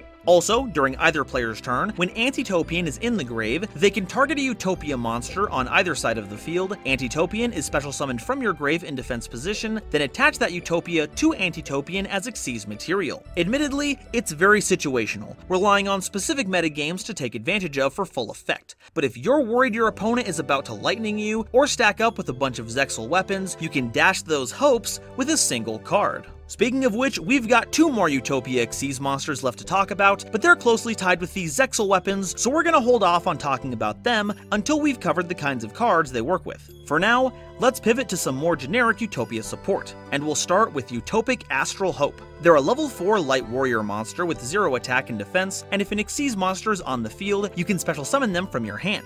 They can send any other card from your hand or field to the grave to add an Xyz, Onomat, Zexal, or Number Speller trap from your deck to your hand. Would have been cool to see it grab Rank Up Magics too, but there is a Zexal one, as well as a whole swath of new Zexal cards that are outstanding. It also gives us access to the incredible Onomat cards we talked about last episode, while putting a level 4 body on board. Numbers also got a new counter trap to help them keep their board safe, and I could spend a whole other video just talking about the Xyz spells and traps. Astral Hope is a great card for fixing your hand, and my only regret is that they can't bring along their little friend Astral Kuriboh. Sorry, but I already did a video on them, and technically, they're number support, not Utopia support. Hey, I don't make the rules, I just make them. Now it's time for some spells, and since the rank up magics play such a big role in many of our Utopias, at least in the anime, let's go over some that are relevant to their summoning. Rank up magic limited Barian's Force is a normal spell that targets a rank 4 Xyz monster you control, and Xyz summons a number C monster that's one rank higher than that monster on top of it. Or you can try regular ol' rank up magic Barian's Force, which lets you do that for an Xyz monster of any rank, and can even summon C Xyz monsters as well, and can steal a material from an opponent's monster, but the monster type of the Xyz you want to go into has to match the base form. And if you want to do some battle phase shenanigans, you can try rank up magic Quick Chaos. It's a quick play spell, but only works on number monsters to rank them up into their specific number C version. But this means you can do some El Shaddoll fusion level plays, attacking with Utopia, then turning it into Ray Victory for some big beats. I know the power of Barian is largely opposed to the astral cards we play, but sometimes you just gotta use what you've got when wrapped up in the chaos of combat. Rank Up Magic Numeron Force is a normal spell that works like Barian's Force, though you can't get CXC's monsters. Then, once you summon your new monster, if there are any face-up cards on the field other than Numeron Force and the monster you summoned, you negate the effect of all those other face-up cards permanently. This means you can turn off just any kind of floodgate or just anything annoying you don't want to deal with. Though, be careful as it doesn't know how to distinguish between friend and foe, and can easily negate your cards as well. Though if you pay attention to your sequencing and stay numer on the ball, it won't be a problem. Rank Down Magic Numeron Fall is a normal spell that targets a Utopia monster, and Xyz summons any Utopia with a lower rank on top of it. And the monster summoned with this effect gains a new one, where if it battles an opponent's monster, that opponent's monster's effects are negated during the battle phase only. This is largely how you're going to access Utopia roots, but if you don't have a setup to make the most of them, you can just turn them into any of your lower ranked ones. Say up Ray V that's already used its Destroy and Burn effect into any number of rank 4 Utopias, while also granting them a pretty sweet way to strip your opponent's monsters of any protections. Any monster that can't be destroyed by battle will now fall under the might of this card. Rank Up Magic Astral Force is a normal spell that targets an Xyz monster you control with the highest rank, your choice of Tide, and Xyz summons an Xyz monster on top of it that's two ranks higher and has the same type and attribute. Also, during your draw phase, instead of drawing your normal card for a turn, you can add Astral Force from your grave to your hand, but you cannot perform any special summons that turn except through the effect of Astral Force. One of these days, Astral Force is going to be responsible for some pretty busted lines of play, skipping across themes, granting effects that shouldn't be possible, but as of yet, that hasn't happened. There was a brief time where you could play it in Burning Abyss to turn Dante into Pleiades for some admittedly sweet bouncing, but that fell out of favor pretty quickly. So now, it's just a really good way to make Utopia Beyond, but one day, they're gonna make a busted, rank 12 Earth Machine monster that can slot into trains, and then you'll all be sorry.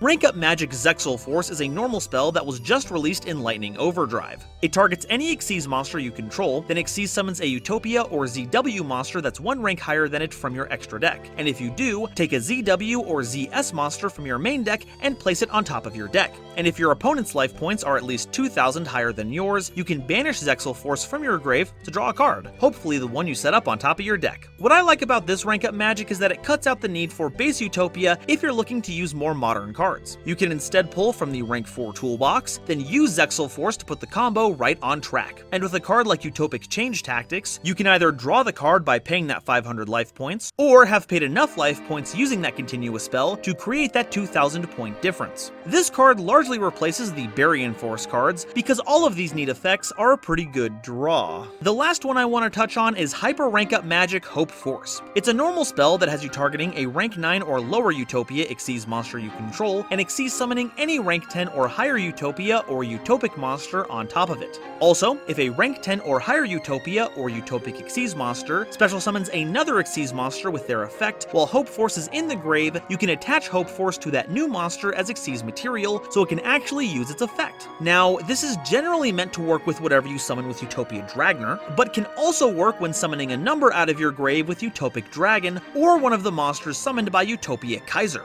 I mean, their effects are all negated, so there isn't much of a point, but it can do it. So with the help of this card, any number monster you bring to bear will be a force to be reckoned with. Now, with all these rank up magics, you can end up summoning a lot of Utopias in a single turn, so why not take advantage of all that evolution with Xyz Change Tactics? It's a continuous spell that has an effect that triggers whenever you Xyz summon a Utopia monster to your field. You pay 500 life points and draw a card. The issue with using rank up magics is kind of the same as using fusion spells. You lose that spell, which inherently makes it a minus 1. Change Tactics can mitigate this, especially since, while you can only control one, there's no hard once per turn on it. And if you summon out Utopia Ray, Prime, or Lightning with their built-in effect without using a card, then you just got a plus one. You can even search this card off of Utopic Astral Hope or Generation Force so you can grab it early and resolve it often. And while losing all those life points might be scary, with all the cards that want you to have lower life than your opponent, it's a pretty solid tactic. Another spell that benefits you for having lower life is Zexal Entrust. It's a normal spell that targets a Utopia, ZW, or ZS monster in your grave, and either special summons it or adds it to your hand, whichever you'd like and if your opponent's life points are at least 2,000 higher than yours, except the turn Entrust was sent to the grave, you can banish Entrust from your grave to target a Zexal spell or trap in your grave, except another copy of itself, and add it to your hand. So we've got a card that can get back our heaviest hitters and best extenders, with the potential to get back another card later in the duel. We've already seen one such card in the form of Zexal Force, but there's also a ton of other Zexal cards that can search your entire theme, set up future plays, or initiate one of the most powerful reversals in the game. Trust me, it's pretty powerful. Utopia Buster is a normal spell you can activate if you control a Utopia monster. It destroys your opponent's monster with the lowest attack, your choice of Tide, and if you do, burn your opponent for damage equal to that monster's attack on the field. This card is deceptively strong, as it has no restriction to keep you from using it after the battle phase. If your opponent has a small monster and a big monster, you can just run over the small one for big battle damage, then bust the big monster with Buster for even more damage. But I gotta ask, where did Utopia get a rocket launcher from? That seems wildly out of style. Reverse Breaker is an equipped spell you can only equip to a Utopia monster. When the equipped monster declares an attack, you can target a spell or trap your opponent controls and destroy it, and your opponent cannot activate spells or traps in response to this effect's activation. Alright, looks like we're showing up Amazoness Sage once again. Not only does it trigger before the battle happens, it locks out all of your opponent's back row responses too. It also has the upside of keeping you safe from battle traps like Mirror Force, since the effect triggers on attack declaration, which then becomes unrespondable. But I'm starting to think Utopia doesn't know how to use anything but swords. He's not even in the art for this one. Okay, this should be a bit more their speed. Rising Sun Slash is an equipped spell that you can only equip to a Utopia monster, and the equipped monster cannot be destroyed by card effects. Each time an attack is negated, you place a Rising Sun counter on this equipped card, and the equipped monster gains 500 attack for each Rising Sun counter on Rising Sun Slash. And if the equipped monster would detach a material to activate its effect while you control it, you can treat Rising Sun Slash as one of its material. Right off the bat, the effect destruction immunity is really cool, especially because it negates the base form's own drawback, and giving you a tiny boost for using the negate attack ability means it can climb potentially up to 3500, which is pretty sweet. Despite all that, it's still not enough to see widespread play, but with effects like that, it's got a bright future ahead of it. And speaking of negating attacks, Lightwing Shield is a continuous spell that's another signature move of Utopia. You can activate it when a monster's attack is negated, and either advance the turn to the end phase immediately, or target a Utopia Xyz monster you control, and its attack becomes double its original attack until the end of the turn. You can also banish it from your grave in place of a material from a Utopia Xyz monster you control to activate its effect. I gotta admit, Having a card that can end the turn is pretty funny, and the fact that it can also be used defensively, negating another monster's attack to set Utopia to 5000, or whatever's double the form you have available, makes it useful in a ton of different scenarios, so it's certainly not light on versatility. Shining Hope Road is a normal spell that you can activate by targeting three monsters in your grave. You special summon all of them, but their effects are negated, then immediately after that effect resolves, you Xyz summon a Utopia or Utopic monster using only those three monsters, and you can't special summon other monsters the turn you activate this card before or after. Looking at our pool of Utopia monsters, having to use 3 material actually cuts out a lot of options. Utopia Kaiser seems like a great avenue, but the monsters you use as material have to have their own material, so that doesn't pan out. It can summon Dragonar, but you'd need 3 level 12s in Grave, which I'm to put down as unlikely. Same with level 10s for Utopic Dragon. And while this would have been fantastic in making Utopic Zexal, well, we've already gone over why that's not happening. This means you can only use this to make Utopia the Lightning and the Utopia Ray series, which, like, are you really going to be running that many level 5s to pull this off? And Utopia Prime. Maybe sometime down the line we'll get a more powerful payoff for a card like this, but until then, we're going to be taking the road more traveled, thank you very much. Alright, you want to see some anime stuff? Check out Shining Draw. It's a normal spell you have to reveal when you draw it for your normal draw if you want to activate it, and keep it revealed until main phase 1. During that same main phase 1, you can target a Utopia Xyz monster you control, and either equip it with any number of ZW monsters with different names from your deck and extra deck, or Xyz summon any Utopia Xyz monster with a different name onto that target. Thankfully, it doesn't apply any restrictions on how you can play that turn, so you can use this to supplement your usual plays. If you desperately need access to a certain Utopia, it's got you covered, but what I'm most enticed by is the promise of a fully loaded Utopia with all the weapons. They've got some pretty spiffy effects you can gain access to that'll really help Utopia shine. Now, with cards like this, you're encouraged to play things that can stack it on top of your deck so you can make the card live. And thankfully, the theme comes with a way to do just that. Introducing Zexal Field, a field spell that prevents your opponent from responding to any of your cards or effects that target your Xyz monsters. This is meant to cover your rank up magic spells, but if you have any buff effects that target, those will be protected too. If any number of Xyz monsters are special summoned to your field, you can target one of them and attach any Xyz monster from your extra deck or grave to that monster as material.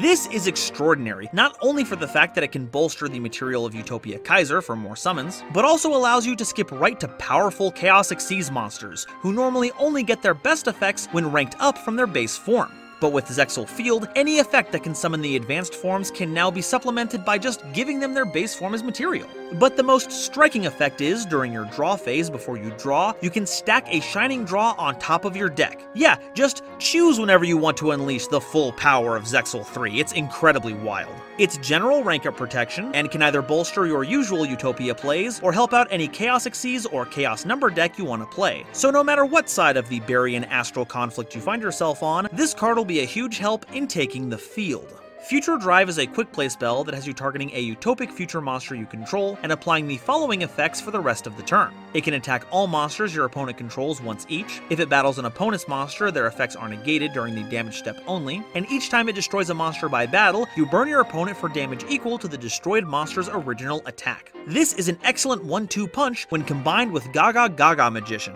Using its effect, you can make F-Zero a 4000 attack powerhouse that can now deal battle damage, and since it only negates its own effect, the bonuses from future drive will be unaffected. So your opponent only needs to have two attack position monsters for you to swing in for lethal damage, since F-Zero is now basically a flame wingman. And even if you attack defense position monsters, you're still going to be burning your opponent for their attack value. It's the culmination of all the power Utopia has wielded thus far, making F-Zero the perfect formula for victory. Now it's time for the trap cards. Utopian Aura is a normal trap that has you detaching an Xyz material from an Xyz monster you control, and makes it so all the face-up Xyz monsters you currently control can't be destroyed by card effects until the end phase. Not technically a Utopia-specific card, but it's in the art and it's kind of in the spirit of things, letting you use a material to protect from effect destruction rather than battle destruction. Just make sure you don't play two at once, because then that would be an Aura Aura, and we've already covered all the onomatopoeias. Release Reverse Burst is a normal trap that has you tributing a Utopia monster you control to destroy all set spells and traps your opponent controls. So yeah, a really weird Harpy's Feather Duster that has a cost that can be kinda easy to fulfill if you're reviving Utopias for free with the effective Utopic Dragon. Not highly recommended, especially because looking at the art makes my head spin. Like, there's these dark magic circle looking things, Utopia is nowhere to be seen, what's going on here? Well, I looked it up, and release is the OCG term for tributing, which covers this card's cost. Note, in the anime, you can tribute any Xyz monster, so that's why Baby Tiragon is here. Reverse is the OCG term for face down cards, and the burst part is, well, about destroying those cards. Glad I looked into that because I was about to release Reverse Burst into tears of frustration.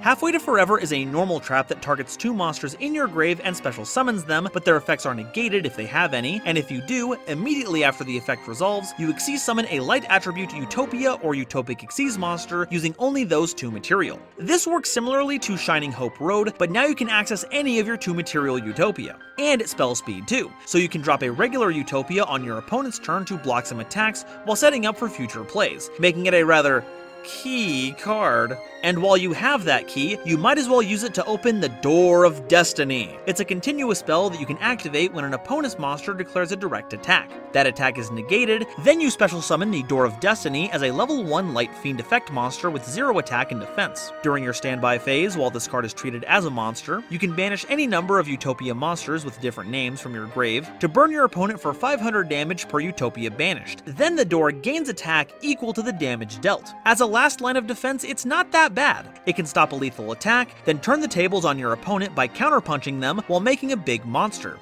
It's also thematically appropriate, as it gains a pretty cool power, but you have to give up something in return. And if you're deep enough on Utopias to make this effect worth it, then yeah, you're giving up something pretty important. But Hey, if it ends the duel quick enough, you won't have to worry about the repercussions of making a pact with a demonic looking entity. Just make sure the door literally hits your opponent on the way out.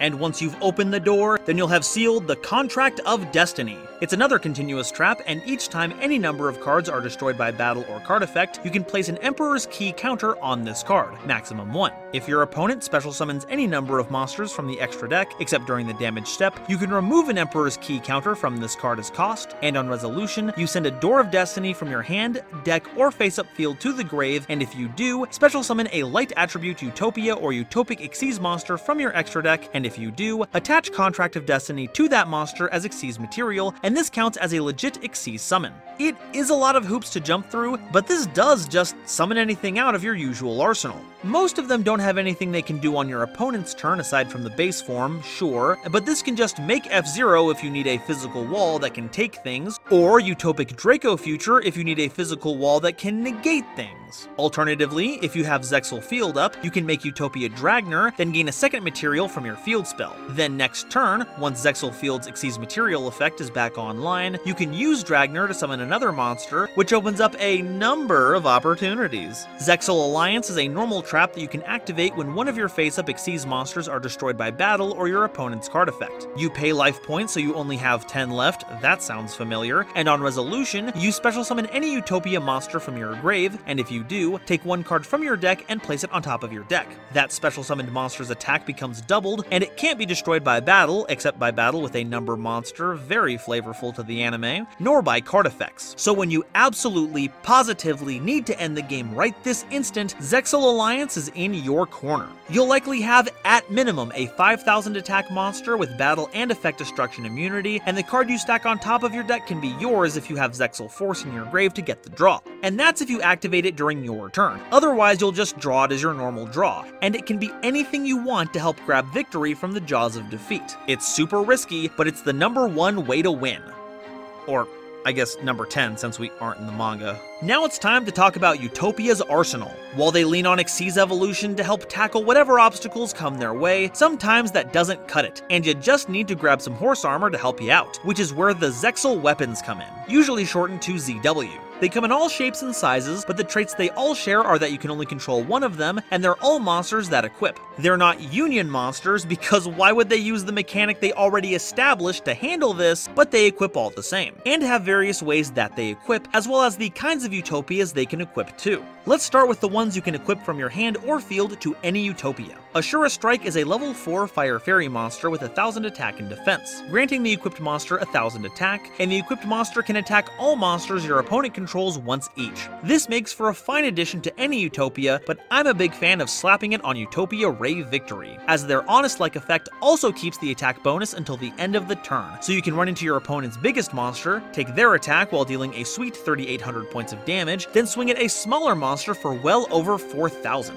I love this card, and it's an excellent company, as it can join Bujintei Susanowo in the Deities That Punch Everything Club. Lightning Blade is a level 4 light beast monster with 1200 attack and 2000 defense, and the equipped monster gains 1200 attack. While equipped to a monster, face-up ZW cards you control cannot be destroyed by your opponent's card effects, and if the equipped monster would be destroyed by a card effect, you can destroy Lightning Blade instead. This tough tiger is essential for any build looking to capitalize on the ZWs, as it keeps them safe from back row removal like Heavy Storm Duster, as well as keeping your Utopia safe from an effect that would sink it and all the ZWs you invested into them. It covers a lot of the theme's inherent weaknesses, which makes them the perfect companion. Sleipnir Mail is a level 4 light beast monster with 1000 attack and defense, granting the equipped monster 1000 attack. If Sleipnir Mail is sent to the grave because the equipped monster was destroyed by an opponent's card, you can target any Utopia monster in your grave and special summon it. So you get a redo on your boss monster if your opponent gets through your defenses, but unless you have the help of something like Zexal Field to give them material, you'll need a follow-up plan to make sure you can use them. It would have been really cool if it noble arms all the ZW cards back onto the new Utopia as well, but it's already given us a nice effect, and I shouldn't really look a gift Sleipnir in the mouth. Sylphid Wing is a level 4 light beast monster with 800 attack and 1600 defense, granting the equipped monster 800 attack. Once per turn, if your opponent special summons any number of monsters by an activated effect, you can have the equipped monster gain an additional 1600 attack. And if the equipped monster would activate an effect by detaching materials, you can send Sylphid Wing to the grave instead of one of those material. The attack boost isn't super situational,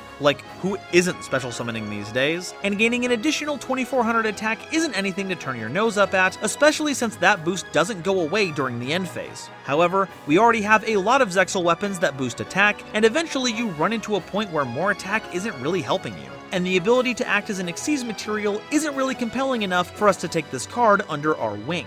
Tornado Bringer is a level 5 Wind Dragon monster with 1300 attack and 1800 defense, granting the equipped monster 1300 attack. While equipped to a monster, your opponent can't target it with card effects, and if it would be destroyed by battle, you can destroy Tornado Bringer instead. This is almost as important as Lightning Blade. Tornado Bringer helps to keep harmful effects away from Utopia, whether it be targeted removal or effect negation, and paired with Lightning Blade's protection, that's not going away anytime soon. If you plan on running a Utopia deck, then this card is going to be right up your Tornado alley. Now we've got a couple that can only equip to a Utopia while they're on the field. Eagle Claw is a level 5 Wind-Winged Beast monster with 2000 attack and 1200 defense, granting the equipped monster 2000 attack. If your opponent has at least 2,000 more life points than you, you can special summon Eagle from your hand, and once per turn while equipped to a monster, when a trap card or trap effect that was activated on your opponent's side of the field resolves, you can negate the effects of that card. So hey, it stops Mirror Forces, Ice Dragon's Prisons, it can even stop counter traps. Normally, you can't respond to those with anything except other counter traps, but Eagle Claw's negation doesn't go on the chain. Note the lack of colon that denotes an activated effect. Rather, it just applies whenever it's appropriate, so if your opponent attempts to solemn anything, Eagle Claw can just say no, and you're good to go. And really, isn't that the most American of effects? Having an eagle with an unhealthy disregard for other people's autonomy, doing things that, by all natural laws, they shouldn't be able to do? Raw bless you, Eagle Claw. Pegasus Twin Sabers is a level 5 light beast monster with 1000 attack and 2100 defense, granting the equipped monster 1000 attack. They have the same summon effect as Eagle Claw, and once per turn, while equipped to a monster, Pegasus can negate a monster effect activated on your opponent's field. You're not going to be stopping any hand traps, but it can stun an opponent's monster while trying to set up their board, or keep retaliation at bay if you have to try and break a board or build one of your own. And I'm going to stop this section right now because the longer I stay here, the larger the possibility I make a sus joke, and I'm not to say I'm better than that, but I am afraid what will happen to the comment section if I do. Now we have the ones that can only be equipped to number C39 Utopia Ray. They can be equipped from the hand, but they can't be equipped from the field. Phoenix Bow is a level 3 Fire Winged Beast monster with 1100 attack and 0 defense, granting the equipped monster 1100 attack. When the equipped monster destroys a monster by battle, Phoenix Bow burns your opponent for 1000. This is a pretty neat inclusion, especially since Ray is already lowering your opponent's attack, so why not slap on a few extra points of damage to help things along? But since it doesn't do much to advance your game plan, and there are much better ways to burn for much more, I'm actually feeling rather cold towards it. Unicorn Spear is a level 4 light beast monster with 1900 attack and 0 defense, granting the equipped monster 1900 attack. And if the equipped monster battles an opponent's monster, that enemy monster has its effects negated during the battle phase only. So hey, another way to punch through things that are normally immune to battle destruction, and pumps Ray up to an astonishing 4400 attack. But we do have effects in theme that can accomplish the same thing without relying on an equipped card, especially when it comes to utilizing more powerful utopias, so Really, I just don't get the point. This next card's a bit of a weird one. Dark Zexal Weapon Chimera Clad is a level 1 Dark Fiend monster with 0 attack and defense, and can equip itself to any of your number C39 Utopias from your hand or field. The equipped monster can't be destroyed by battle, and at the end of the damage step, when the equipped monster attacks an opponent's monster, but that monster wasn't destroyed by that battle, you can make that opponent's monster's attack 0, permanently, and if you do, the equipped monster can attack the same monster once again in a row. Chimera Clad makes it so your C-39s can beat basically anything in combat, eventually, and can actually punish your opponent for having a weaker monster that has an effect that keeps it immune to battle destruction, by getting to deal damage to it twice. If Utopias didn't make it a point to gain so much attack power, I can see this having a lot of utility, but as it is now, arguments for its inclusion are hardly ironclad and if there's a dark weapon, there so too must be a light. Shining Zexal Weapon, Fenrir Sword, is a level 4 light beast monster with 1800 attack and 1100 defense. When normal summoned, you can target a ZW card you control that's an equipped card and special summon it in defense position, which can help make another Xyz in a pinch. They can also be equipped to any Utopia monster from your hand. If the equipped monster destroys another by battle and sends it to the grave, you can target a ZW monster in your grave and add it to your hand. We do have plenty of level 4 ZWs, so it's a great way way to pivot into other lines of play, or get back any ZWs you lost so your Utopia's armed and armored, which makes this another easy candidate for Yu-Gi-Oh's good Dogi Brigade. Welcome to the park, buddy. Ultimate Shield is a level 4 Earth Aqua monster with 0 attack and 2000 defense, and when normal summoned, you can target one of your banished Xyz monsters and special summon them in defense position. They can also equip to a Utopia you control while they're on the field, granting the equipped monster 2000 defense. So if any of your Utopias get banished, say by the effect of Door of Destiny, Ultimate Shield can get them back as well as providing a substantial defense boost to keep them safe for the turn. Or you can just rank it up into something else and save the shield for another Xyz summon. But no matter what, they're a great way to start a shell of a play. V Salamander is a level 4 fire spellcaster monster with 1500 attack and 1300 defense. When normal summoned, you can target any Utopia monster in your grave and special summon it, and while Salamander is on the field, it can target a Utopia Ray V specifically and equip to it. Once per turn, while equipped to a monster, Salamander can detach a material from its equipped monster to negate that monster's effects permanently, and if you do, destroy all monsters your opponent controls, and if you do that, burn your opponent for 1000 damage for each monster destroyed that way. Holy smokes, this card is terrifying. Previously, you'd need some kind of combo to get a new material under the Ray V if you wanted to activate it post-revival, but now you have Zexal Field, so there's nothing getting in the way of this very powerful Raigeki. It's kind of a shame that it only works on a single form and doesn't really mix into the rest of the support because it's technically not a Zexal weapon, but I figured they were close enough for inclusion. What got under my skin was the typing, like, how is this a spellcaster? It's literally a reptile. But then it clicked. V Salamander is a lizard wizard. We've seen a bunch of different Zexal weapons up to this point, one of them wasn't even a ZW, but none have been as offbeat as these, because we've got equipped monsters that live in the extra deck.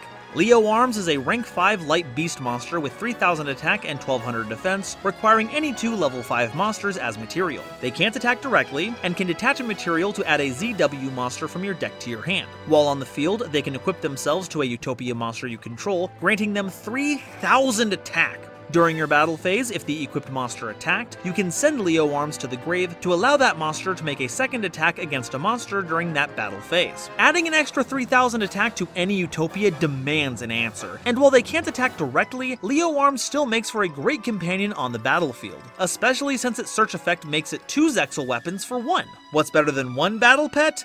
Two battle pets! Dragonic Halberd is a rank 5 Dark Dragon monster with 3000 attack and 1200 defense, requiring any two level 5 monsters as material. They also can't attack directly, and can also equip to a Utopia to grant it 3000 attack, and can detach a material from itself to add a Zexal Speller Trap from your deck to your hand. Also, if the monster they're equipped to destroys a monster by battle, Halberd can special summon any number of Zexal weapons equipped to that monster. While the Xyz weapons can't attack directly, that isn't the case for all the other ones, so you can swing in for big damage, summon out all your little critters, swing in for more damage, and if the game is somehow not over by this point, you can just re-equip whichever ones you have the option for. You'll be swapping monsters in and out of your back row so much, you'll be giving Plunder Patrol a run for their booty.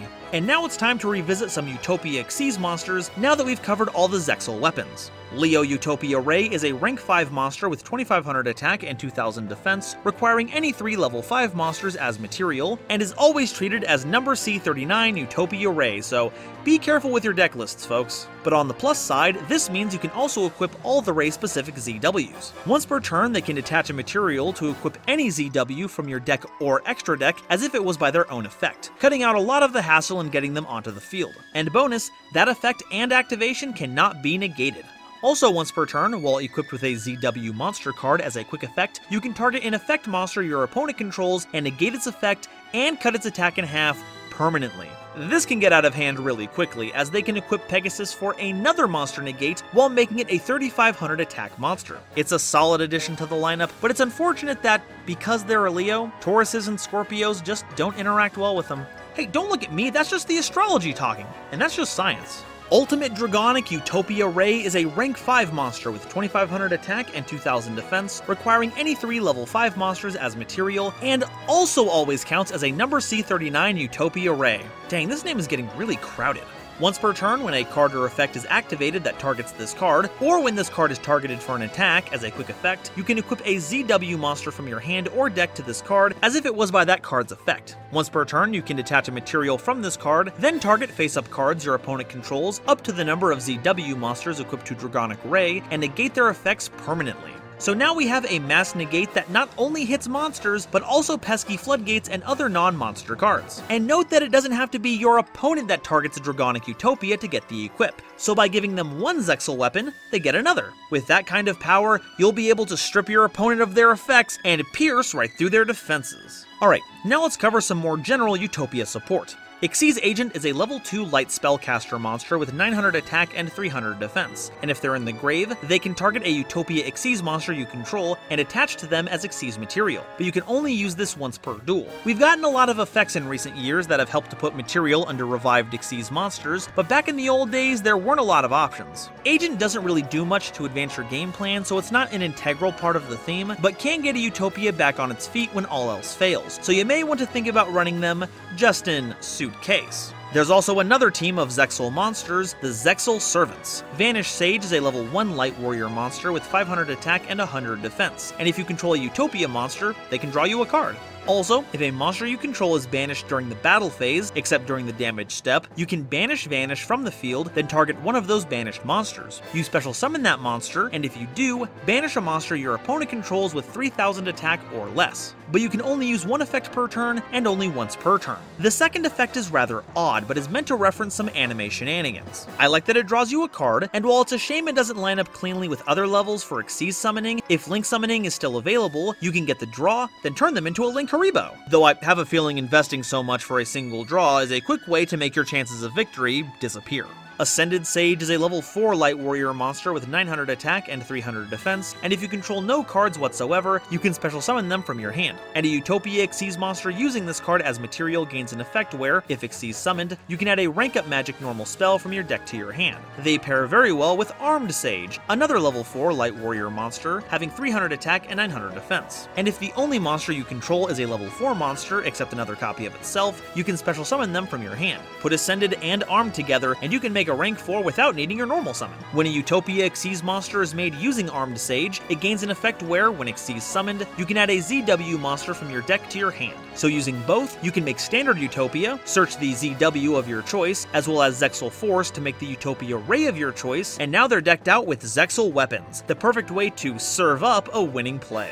Ouroboros Sage is a level 3 Dark Warrior monster with 600 attack and 0 defense, and when normal summoned, you can activate an effect where you can only declare one attack for the rest of the turn, also special summon a non-light number monster from your grave, but its effects are negated, and if you do, equip Ouroboros and a Utopia monster you control to this number monster, each of which having an effect giving the equipped monster 1700 attack for a total boost of 3400. When the monster equipped with Ouroboros by this effect declares an attack on an opponent's monster, you can double the equipped monster's current attack, but it's destroyed during the end phase. Once again, very strange effect, but that's largely due to it being an anime reference. This fits in very well with any version of the deck that focuses on number monsters rather than Utopia, though you could make a case for running Antitopian to help enable this without dipping too far outside the card pool. And those boosts aren't for nothing. If the equipped monster has a base 1600 attack, then it's going to end up being 5000, and that's before before it gets doubled. And if you can prevent the self-destruction, you can do that again next turn. But playing this card really makes me hungry for some Snake Tail and I just don't know why. They've also got their own Xyz monster, Utopic Sage. They're a rank 4 monster with 2000 attack and 2500 defense, requiring any two level 4 monsters as material. They can detach two material from them to special summon a ZW or ZS monster from your deck. Also for the rest of the turn, you cannot special summon monsters from the extra deck except Xyz monsters, and you can't attack except with number monsters. Also, if a Utopia and or Utopic monster you control whose original attribute is light, except another copy of itself, would be destroyed by battle, you can banish Utopic Sage from your field or grave instead. The ZS don't really strike me as good targets for this effect, but getting a free Zexal weapon is pretty keen, especially if it's Eagle Claw or Pegasus Twin Saber, and the more ways to protect your boss monster, the better. It's clearly an excellent member of the staff. We've also got an interesting monster that's a mix between Yuma and Yuya's cards. Magician of Hope is a rank 4 light spellcaster Pendulum Xyz monster with 2500 attack and 2000 defense, requiring any two level 4 monsters as material. They can be pendulum summoned from the face-up extra deck if you can do so for level 4s, and you can detach a material from them to special summon any level 7 or lower pendulum monster from your hand in defense position, its effects are negated, then Hope Magician is set to the pendulum zone. Also, if Pendulum summoned, you can target a Pendulum monster in your grave and attach it to Hope Magician as material. And as a Pendulum card, once per turn, when an opponent's monster declares an attack, you can negate the attack, then destroy Hope Magician. It certainly got more style than substance. If you're trying to get a level 7 monster out of your hand in a Pendulum deck, there might be more pressing issues at hand, but I'm certainly not complaining. I love seeing cards that mix up the aesthetics and effects of iconic characters, and I hope to get to see more in the future. Zexal Catapult is a normal spell that special summons a ZW or ZS monster from your hand. Then if you control a Utopia monster, you can change the levels of all face-up monsters you currently control to 4 or 5. And if Catapult is in your grave, except the turn it was sent to the grave, you can banish Catapult and a ZW or ZS monster from your grave to target an opponent's card and destroy it. The first effect isn't too exciting, the modern ZSs are meant to use their own summoning effect, and most ZWs can be equipped from the hand, with other effects handling the equipment of the more cumbersome ones. But sometimes you just gotta put material onto the board, and it does help you modulate your levels to summon the extra deck Zexal weapons to get their stupendous effects. And for all the issues I have about the front half of this card, the back half is pretty nice, giving you spot removal to help clear out an annoying card or bait out a negate. And bonus, if your opponent is running Castle of Dark Illusions, you can blow it up and win the game, so that's a huge plus. Zexal Construction is a normal spell that has you revealing any card in your hand, and if you do, you add a ZS monster, ZW monster, Zexal Speller Trap, rank up magic spell, or rank down magic spell from your deck to your hand, then shuffle the revealed card into your deck. It's unfortunately a minus one, but it's also kind of a blessing in disguise. There's a lot of garnets you play, and Zexal Construction can actually put it back into your deck.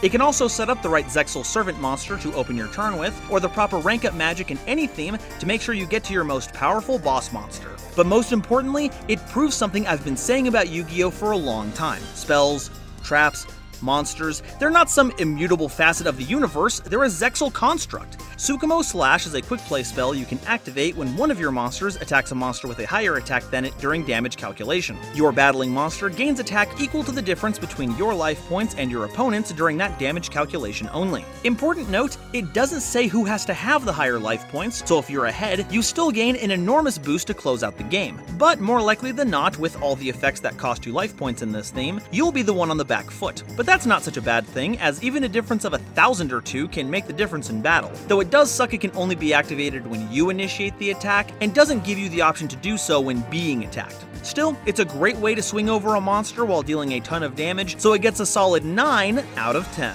Our last card is High Five the Sky, a normal trap you can only activate during your battle phase. You target a face-up Xyz monster that attacked this turn, and it can make a second attack during that battle phase. And if it does so, your opponent can't activate cards or effects until the end of the damage step. This also lacks the On Monsters clause, so you can use this to attack directly for a surprise win. But the fact that it's a trap card that you can only activate on your turn does hurt its viability. But hey, when did something like playability get in the way of stopping people from playing cool cards? Attacking for game out of nowhere like that while stunning your opponent is totally in the Kattobingu spirit.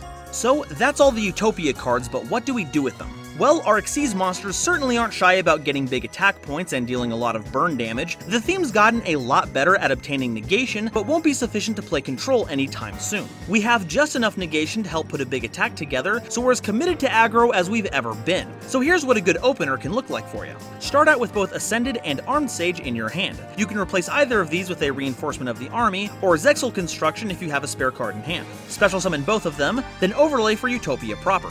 This will trigger both Sages, netting you a rank up magic Zexal Force and a ZW Lightning Blade. Alternatively, you can overlay them into a Utopia double just in case your opponent has some kind of negation, as the quick effect change into Utopia proper will dodge that targeted negation. It's also a great way to get more value out of Xyz change tactics if you have that in your hand as well. Once you've gotten all the draws you can, use Zexal Force to make Leo Utopia Ray, stacking the Xyz weapon of your choice, then drawing into it with change tactics if it's live. Use Leo's effect to attach Pegasus Twin Sabers from the deck, as well as the ZW you drew off the top. Now you have a 4700 attack Leo with two on-field monster negations, with all your ZWs protected, with an additional ZW if you drew it, which is likely going to be Tornado Bringer, which provides you targeting protection. If you had Xyz change tactics, then you drew several cards, and since none of this utilized your normal summon, you can use this combo along with the Onomat one from the last video. Though because of how these Zexal servants work, this combo would have to go first. And that's all I've got to say about Utopia. It's been a wild ride seeing how the theme has evolved, not just over a few formats, but over years of design decisions. And through it all, it's maintained as much of an anime feel as it ever has. Making extra deck monsters that are equip spells, negating attacks to make even bigger attacks, building up a single monster with equips and Xyz evolutions, every facet of this deck exudes the kind of energy that I feel has drawn people to Yu-Gi-Oh! for years,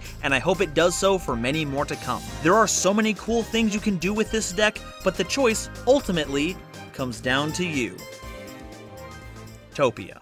But now, I want to hear what you all have to say. Do you have a favorite Utopia moment, either from the anime or from your time playing it? And is there anything you hope they'll add to the theme in the future? Let me know in the comments, and if you haven't already, please make sure to like, subscribe, and share this video around. It really does a lot to help me out. I'd also like to take this time to thank my lovely patrons, including this month's illustrious Quasar Commander, CozyBoat275, Nebula Navigators, Benjamin Meisner, Billy Spence, Genesis Yu-Gi-Oh!, Gloomba331, Panther J, Shep Shao Shep, The Wizard Moose and the Fresh Prince of Con Air, Cosmic Crusaders, Chaz Ghost, Colin Todd, George Schaefer, Hakatana, the Legendary Raven, and Panda PLS, as well as the wonderful Starlight Explorers you see on screen now. If you like what you saw and want to fund the future of this channel, please consider joining as a YouTube member, it's basically like a Twitch sub, or supporting me on Patreon, all of which come with some pretty sweet perks. And if this is my first video you've seen on the subject, then check out part 1 where I over Yuma's other well-known theme, the Onomats. Thank you all so much for watching, and I'll see you next time.